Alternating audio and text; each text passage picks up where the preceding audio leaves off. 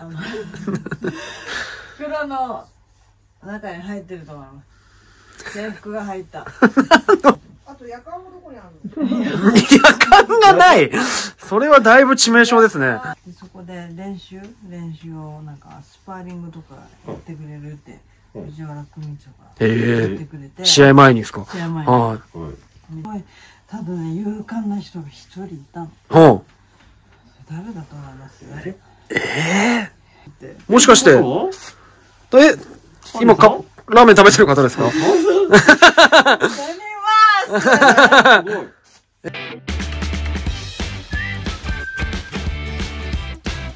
えー、すごい。ないですか？確かに行きそうだな、そう考えるなんいきそう？何でもやってみる。すごくないですか？ごいですよ。へえ。それ相当でもぐちゃぐちゃにされて。ちょっとすぐストップ。ですけどはすごいいい経験したと思いますよ。確かに。タミちゃん関節がうまいんですよ。関節とか好きで、い。はすごい貴重な経験じゃないですか？本当に。でその後もう誰も行かないから小坪さんが。ひどくない？これ。すごくない？ねえこのチャンスを皆さん逃してんだよとか思うんだけどい。それ、み、皆さんは、じゃあ行かない人たちは、リングの周りにいるだけって感じなんですそういるだけよ。ああ。それな、組長も気まずいな。次から次へとね。来てね。うん。で赤ジャージのあの小林邦明さんのファンの人おあー。はいはいって言ったじゃない、あれどこを見ればわかるんですか？どどのあの YouTube ですか？だ？あ、えっ、と、僕が出ても、出てもらってるやつですか？うんえー、なん、えっ、と、蒙古顔面さんっていう名前なんですよ。ファンメンさんはい。青木さんはどこも悪くないんですか？いやー、でもなんかまあ、首のヘルニアみたいのはちょっとなったんですよね。今年の頭ぐらいに。はい。首のヘルニアも結局なんか治んないですもんね、あれも。なんか、だから薬飲んで、なんかまた来てくださいみたいな感じのまま、行ってないみたいな感じですね。あはい。あ青木さんはい。ストロングマシーンやった人あ、そうです、そうです、そうです。あれで僕ヘルニアになっちゃったんですよ。首の。えー、えかぶってってこと？あれ被って、重たかった？重た、あ、まあそうなんですよ。で、あれの次の2日後ぐらいから、ずっと首の調子悪くて、であれ？と思って、うんで、行ったら、これちょっとヘルニアですねって言われて、で、なんか心当たりありますかって言われて、で、でなんか説明もめんどくさくて、ええー、そうなのはい。だった思い当たるの多分そこしかないんですよね。ちょっと待って。あれめちゃくちゃ可愛かったんですよ。ありがとうございます。作ったところね、宮沢さんに言ってあれすっごい可愛いですねって。作り方載ってんありますよって見たんだけど、私見たんですはよ。恐ろしいほどあれ再生回数伸びないですよね。あれ青木さんだったんだ。はい。すんごい可愛いです。あのそのスーパーニューニュー大将っていうのがうまいんですよね。段ボールで作るのが。後輩の芸人なんですけど。あはい。器用なんですよ。年末になんかいいですね。大仕事があるから。大仕事。なんかいいですね。田村さんも現役の時は緊張しましたか？試合前は。試合前、はい試合前はもちろんえー、緊張ないとダメでしょまあやっぱそうっすようね。そうでしょう、うん。それなんか緊張和らげるためにやってたこととかあるんですか？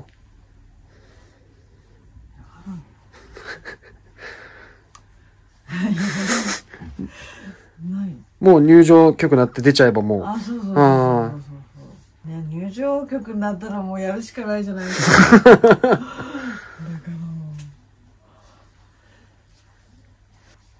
うヤヌスの鏡って知ってますか？はい。ヤヌスの鏡。う、ヤヌスの鏡。ヤヌスの鏡。あ知らない。しヤヌスの鏡。あ、宮田さんわかります？あ知らないんだ。はい。二面性の顔を持つっていうはい。あ、その、高校生。はではもうおとなしい子なんですけど。漫画ですか？漫画でもあって、はい。ドラマでもやりました。へえ三。浦美幸さんがやはったんですけど、らないんだ。もう完全になんか、プロレスのユニットの、そうそう。ガラスが割れるとかな、なんか変わっちゃうんですよ。へえ、そんな感じだなと思って、あ私も。なんか。試合に出るということは、今やってんのと、うん試合、リング上では絶対違うので、あ、は見たことないですね、青木さんはね、私の試合。あ。今ってなってる、急に。急にそんな。あります。あります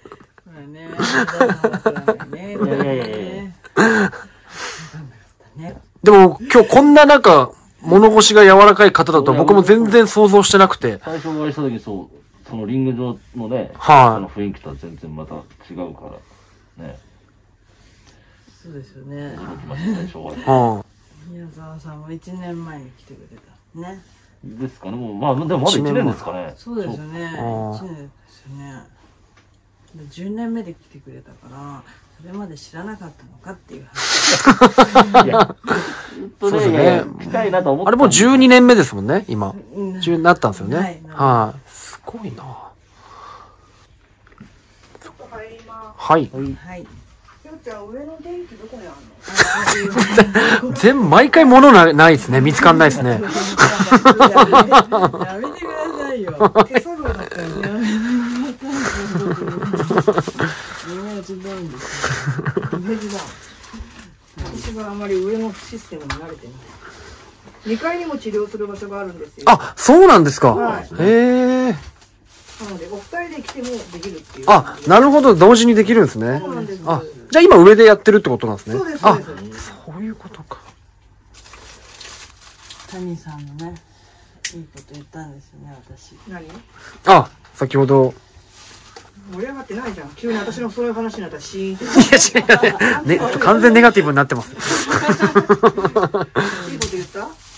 藤藤原、藤原組長にあスパーリングで挑んだ。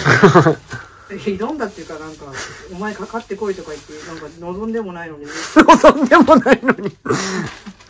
あれはすごいいい経験でしたよ。ああ。やっぱ強かったっすか？強いっていうかなんかもう怖い。どこ決められるかわかんないから。もう本当にどこ次決められるかわかんない。もうギャーギャーみたいな。うわ怖かった。タップしたら離されてまた決められてみたいな繰り返し。うわあれなんかもう赤子の手をひねるように簡単だったんでしょうね。すごかった。あれはすごかった。いい経験したよね。だいたい、ね、針やってるから、だいぶ柔らかくなってるんですけど。あ。あお尻とかやってもらいました？やはい、やりました。りました？あ、じゃあ大丈夫かな。うん、柔らかくなってる。あ。おーお尻が硬いとやっぱ腰も痛くなる。へえ。お尻ほぐしてくださいね。はい。お尻って自力でほぐれる方法あるんですか？自力で？自力で。こう叩いたり叩いたりとか。はいはい。ああ、なるほど。座ったとこここお尻をさ座ってこうやってああ。はいはい。押してみたり。押してみたりとかへえ。やってみてください、はい。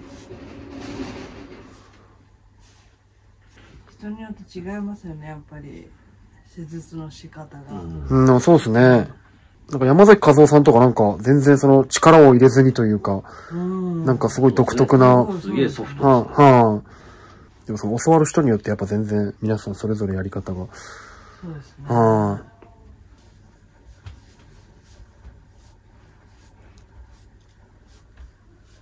全然アロマじゃないんですけど 生体。すぐこれね腰が悪い人にはやってあげたくてあれへえ。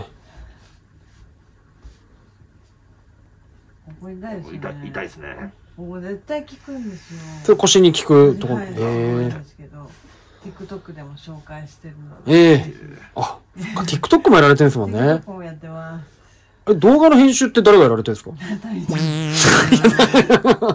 すごいな。ぁえ。ありがたいです。あのブルさんのあの引退講義あったじゃないですか、はいはい。そこで志田さんと,、えー、とゆずぽんがシングルしたんですよ。うん。シングル。だからそれ宮沢さん言ってますよね、我行き々。ましたよね、一緒にね。未来を読んでるっていうかあーそうだったんだ。俺、覚えた。そうなんだ。すごくない？これ確かにすごいですね。すごいよねあれプルさんのあの引退公演ってもう10年ぐらい前ですかね。近く10年ぐらい前だとそうですよね東京ドームシティホール。そうそうそう。そうプルさんがあの体をまた元に戻してってのすごかったな。あんまりないパターンですよね。増量してまた出てくる。で、またそこからスッとまた戻る。ねねえ。落として。ねここですね。ここを、シャンプーとかニュースとかしてる時は自分で頭皮マッサージここをうんほぐしていくこうやるとここのここは柔らかくなるんですよ。へー。こことつながってるみたいでやってみてください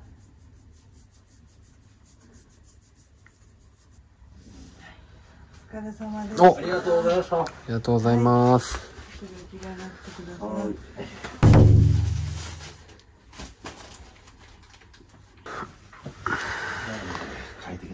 背中写真撮る？